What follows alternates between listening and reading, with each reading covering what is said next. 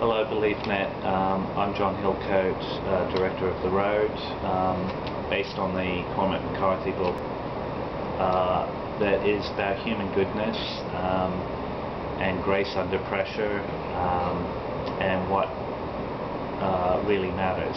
Um, it's an extreme tale, uh, a journey, a love story between a father and son uh, in an apocalyptic.